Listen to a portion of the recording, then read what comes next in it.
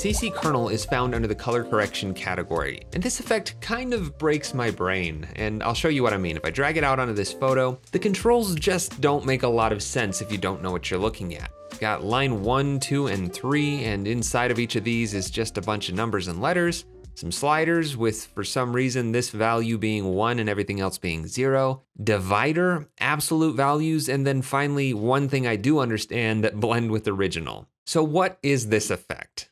Well, I had to do a lot of research and I found the Cycore Effects manual that I'll link to in the description of this video, where they explain that this effect is a way to make color calculations on pixels. And from some other research I've found, it's basically the foundation on how many effects in After Effects and Photoshop are created. You can blur an image, sharpen it up, add an emboss effect, find edges. There's lots of things that you can do with it, and the math used within this effect is what's going on behind those other effects like find edges or any of the blurs. It's all just manipulation of the pixels that make up any given image. And if you weren't aware, if I zoom in nice and close, every single raster image is made up of blocks of colors, tiny squares called pixels. So this image is nothing more than squares of color that when you zoom out far enough, make up an image. So if you were to apply this effect and just start manipulating these values, you'd think that, well, I'm just making my image brighter or darker,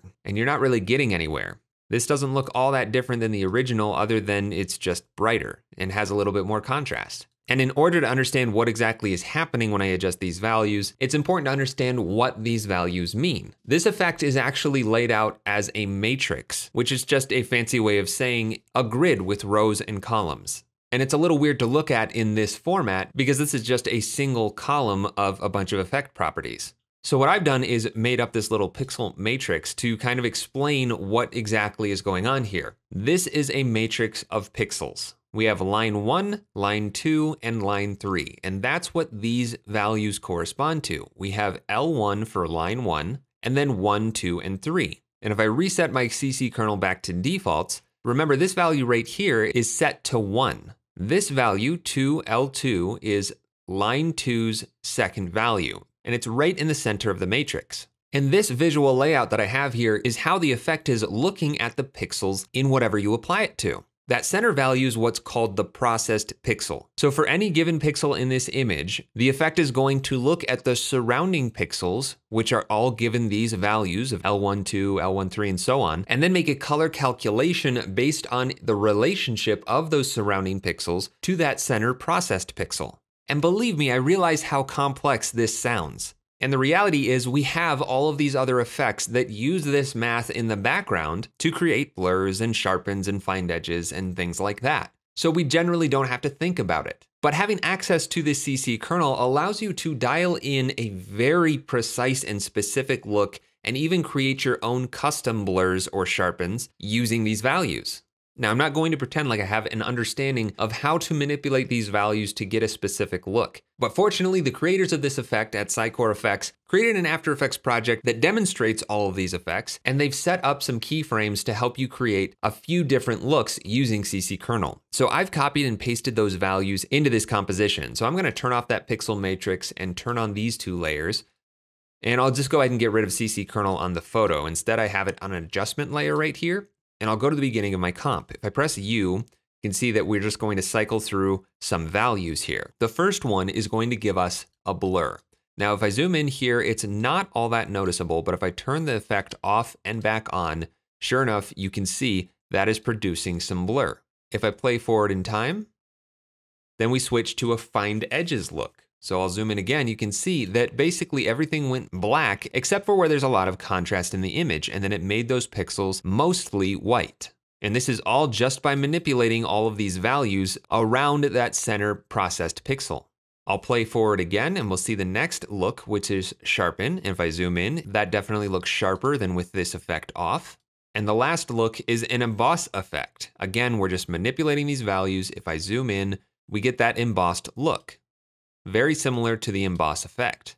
Now, like I said, I'm not going to pretend like I understand how all of these values work together, but if I select all of these values and go into my graph editor, I'm looking at the value graph, we can kind of see how these pixels are changing. So let's go to this first set of keyframes that make up this blur effect.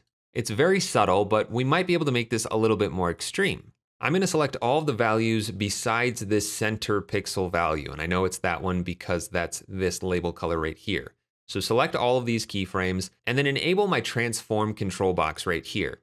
Then I'm gonna go to this transform box, hold down control or command on a Mac before clicking and dragging, and now I can expand these values out to be more dramatic. They're basically being proportionally spaced from where they already were.